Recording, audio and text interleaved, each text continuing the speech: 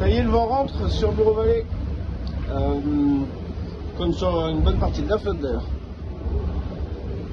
Euh, tout va bien, on a rangé les grosses voiles et euh, c'est l'attaque maintenant pour un bord de portant qui va nous rappeler probablement un peu les conditions du, tour du monde.